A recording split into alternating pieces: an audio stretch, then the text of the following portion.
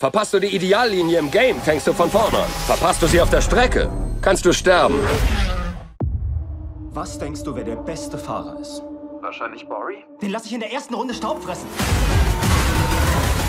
Jan, ständig spielst du Videogames und jagst verrückten Träumen von Rennwagen nach. Dad, du hast doch immer gesagt, wir sollen das tun, was wir lieben.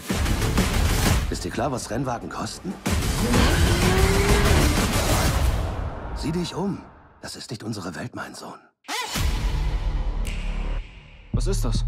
Ein Wettbewerb. Die besten Gran Turismo-Spieler auf der Welt kriegen die Chance, sich im Profi-Rennsport zu beweisen. Alter, das ist echt.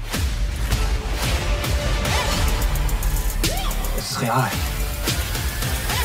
Mal im Ernst. Glaubst du wirklich, dass du einen Jungen, der in seinem Kinderzimmer Videogames spielt, in eine Rakete setzen kannst, die 320 Sachen fährt? Die Karre wird ihn komplett zerlegen.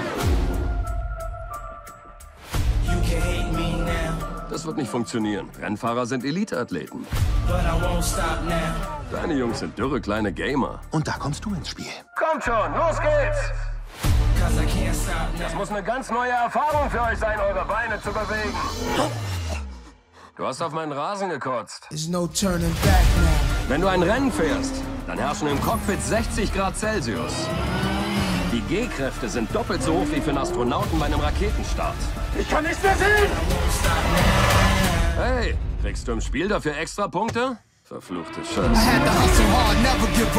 Die ganze Sache ist völlig krank, aber von den Couchsurfing-Notes, die du mir geschickt hast, ist er der Beste.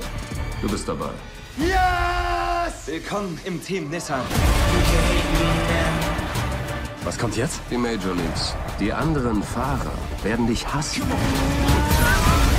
Upsi. Alter, was ist dein Problem? Ist Teil des Spiels, nennt man Rennsport. Verpasst du die Ideallinie im Game, fängst du von vorne an. Verpasst du sie auf der Strecke, kannst du sterben.